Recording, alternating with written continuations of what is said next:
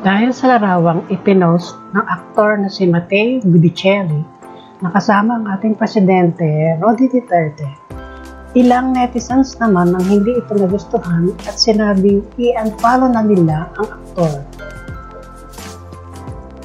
Ayon sa kanila, hindi dapat makipag-usap si Mateo dahil ito daw ang pinaka-worst president at pinahihiya ang Pilipinas.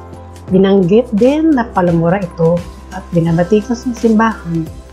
Pero meron din followers ang nagtatanggol sa ating presidente. Merong natutuwa, humanga at nirespeto ang intensyon ni Mateo na mag-serve sa country. Isa dito ang actress na si Bianca Manalo ang natuwa at sinabing, Go brothers, so proud of you.